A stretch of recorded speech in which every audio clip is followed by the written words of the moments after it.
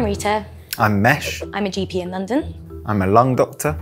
And we were at the press conference where the redacted US UK trade documents were revealed by Jeremy Corbyn. Yeah, those are the ones that in the national debate were redacted. Jeremy Corbyn held them up.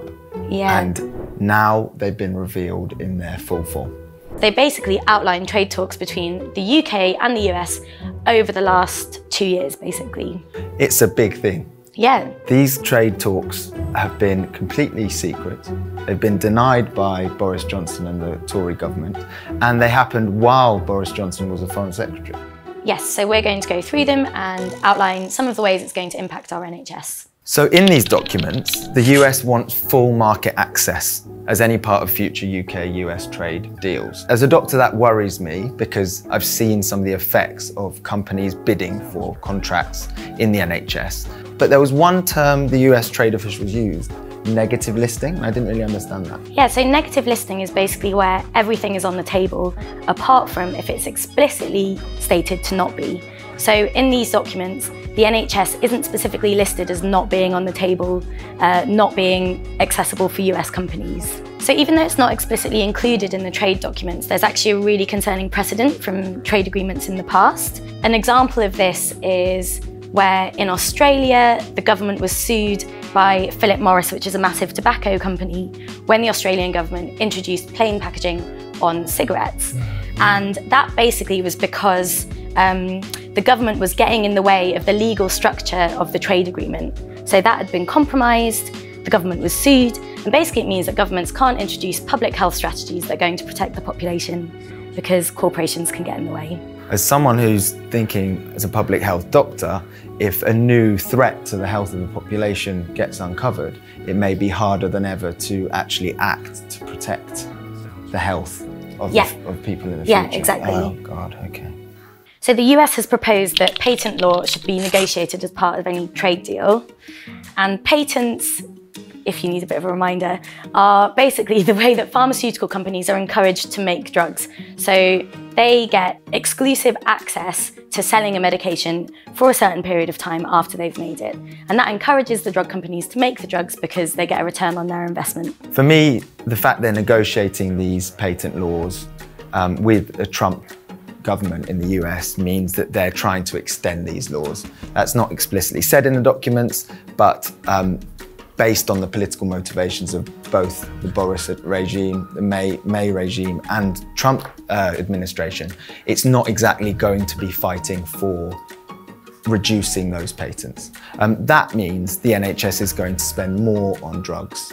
Not only that, but in these documents, there's arguments against the UK government having the ability to negotiate for drug prices. Yeah. Now, at the moment, there's this organisation called NICE, the National Institute of Clinical Excellence, and they decide what drugs the NHS is going to buy from pharmaceutical companies. They have a bulk purchasing power where they can negotiate prices. And these trade deals are going to threaten that power. I'm going to just bring up one example, which is particularly shocking. There's a drug called Humira, which is... Oh yeah, I've heard about that. Yeah, it's used for inflammatory bowel disease, rheumatoid arthritis. Um, it costs £1,400 in the UK, and the same drug costs almost £9,000 in the US.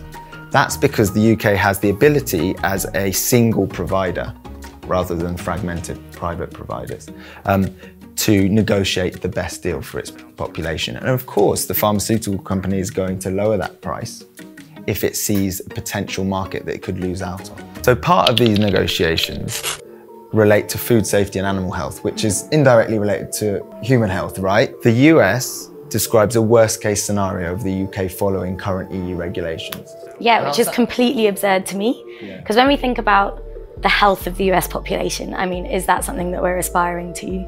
One of the things that was specifically discussed in that documentation was introducing things like chlorine chicken, and that is as bad as it sounds. I guess the other thing that they specifically brought up was around our traffic light systems. Uh, one of your five a day, but... Yeah. So these are really important because as doctors, we know how important food is for health. We look at the US and the state of health over there and you know, that's not something that we want to be aspiring to.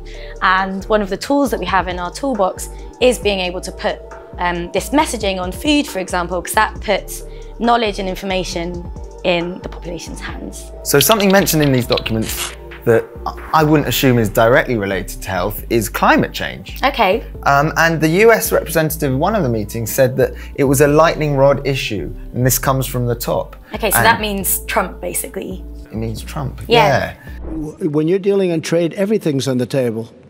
So NHS or anything else. Because I think Trump had pulled out of the Paris Agreement, so his track record on the climate is really terrible. Mug. Suppose if you've got a polluting car or something um, that you bought from the US and you're unable to regulate its emissions. Yeah, I mean, you can't even mention greenhouse gas emissions, right? Like, that's what the legislation says that you can't put those words in any sort of legal document that we write. So I work in Tower Hamlets and kids have 10% reduced lung capacity. Exactly, Oh. right.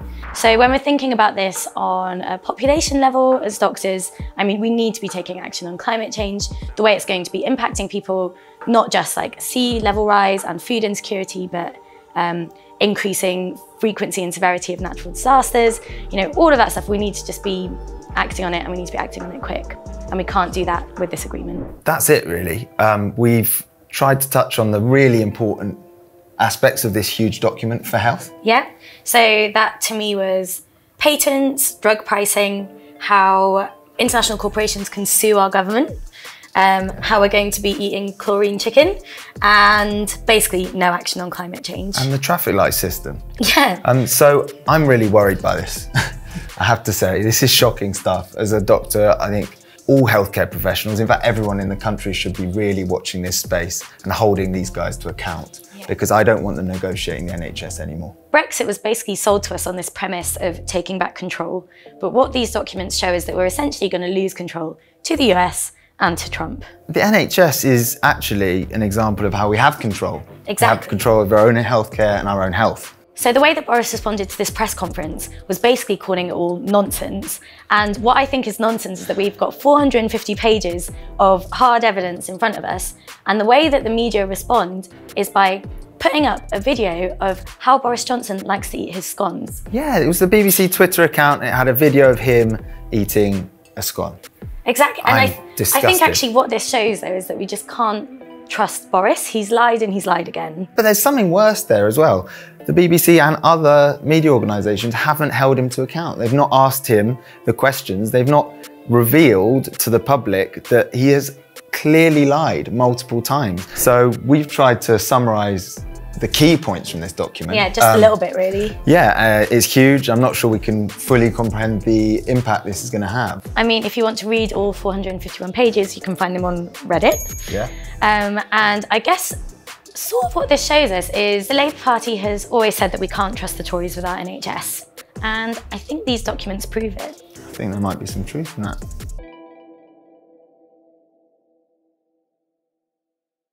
The traffic light system. Do you know what that is?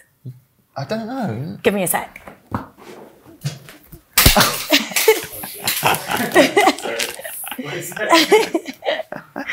Thanks.